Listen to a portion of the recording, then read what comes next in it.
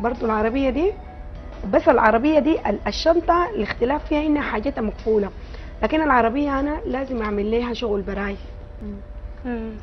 فبرضه فيها ديكة وفيها بخور وفيها العادات الأصيلة هي العادات الأصيلة. العادات الأصيلة مع استحداث.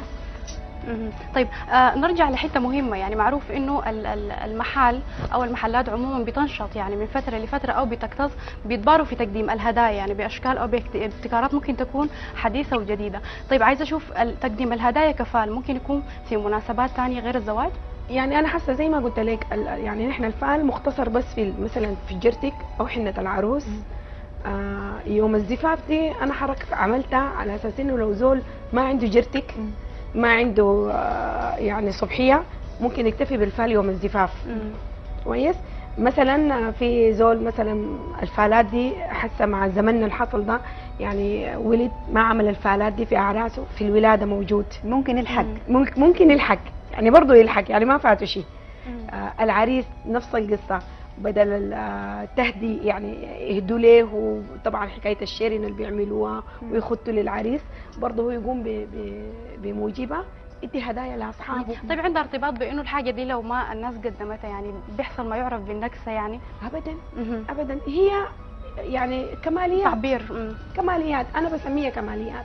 يعني ما شيء مف- ملزم لكن شيء ل- نحن في عاداتنا نعمله يعني لكن آه، يعني نحن في عاداتنا ممكن نعمله وممكن حتى يعني يكون زول عايز يقدم الفعل بطريقة أبسط من كده تهاد وتحابب آه.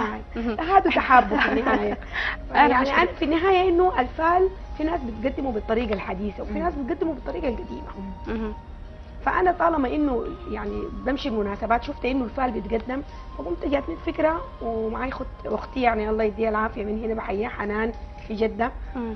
فأنا وهي قمنا قلنا خلاص الشغلانيه دي نخش فيها نحن الاثنين مع بعض الحياة دي هنا ما موجودة فأنا بيجيني يجيني الزبون يكون عايز بضرب تلفون برسل بتجيب لي هي الله يديها. العافية الطلبية نقوم نشتغلها مع بعض نحن في الختام يا مدام بنقول إنه الفال هو استبشار الناس من نعم. خلاله بتسعى جاهدة إنه تقدم هدايا لناس هي يعني قدمت لها الجميل من خلال المناسبة بوقفتها معاه بمشاركتها لها آه، الفرح والاستبشار من خلال الناس بتنقل الأفراح من بيت لبيت سوداني هي عادات وتقاليد درجنا نحن كسودانيين في مناسبات الأفراح إنه نقوم بها ومن خلالها نتبادل الهدايا. الجميلة يعني ما شرط الهديه بقيمتها ما شرط تكون مجملة ممكن بأبسط الأشياء الناس. تقدم الفعل الفعل. لحبانا وللناس اللي شاركوها؟ نشكرك كثير كثير مدام سلوى حسين مهتمة بالتراث وكمان مهتمة بموضوع الفال تحديدا. شكرا جزيلا لك. بشكركم يا إسراء وكتر خيركم وبشكر قناة النيل الأزرق والأستاذة سلوى ويعني كل من ساعدني في إني أنا